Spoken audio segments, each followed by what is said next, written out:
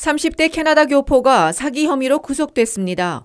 모국 현지 언론에 따르면 35살 박모 씨는 캐나다산 참치를 수입해 일본에 수출하면 돈을 벌 수 있다며 투자자를 속여 투자금을 받아 가로챈 혐의를 받고 있습니다.